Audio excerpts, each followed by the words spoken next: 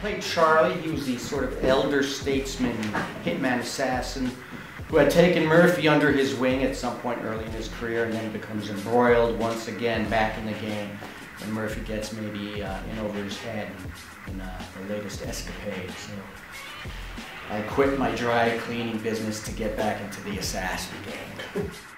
Name is Tim, and uh, he is a. Uh, what he? He he works as a in a billiard hall uh, with some shady characters, and uh, owes some money to some bad people that you don't want to owe money to. movie reminds me a little blend of Payback, Goodfellas, and uh, Who Killed Bill? Oh, Bill, what's that movie about killing Bill?